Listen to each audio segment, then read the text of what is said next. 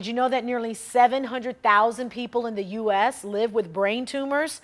They can cause neurological damage and even be life-threatening. But the Cleveland Clinic is treating patients using precise brain radiosurgery to treat those tumors. And now Jennifer Auh joins us in the studio right now with this latest medical breakthrough. And Jennifer, you spoke to the first person to get this treatment here in Ohio.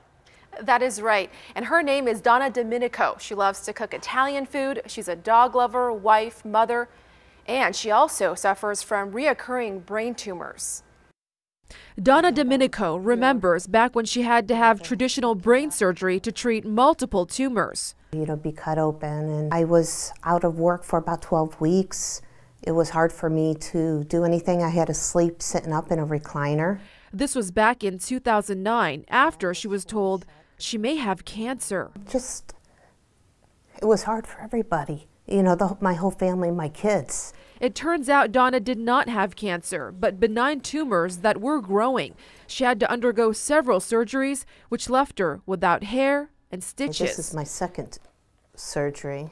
More recently, she made a brave decision, becoming the first person in Ohio to undergo the latest gamma knife procedure to treat her reoccurring tumors. She is a vivacious, caring person who wants to take control of her health and does so.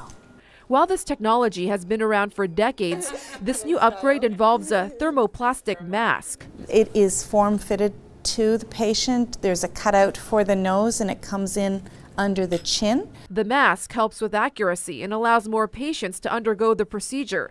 It's been only two weeks since Donna had the procedure, but she's already moving around, able to cook and do chores around the house.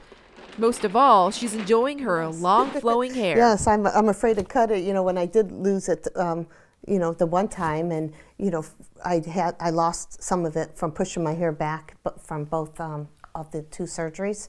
So uh, that's why I really never cut it again.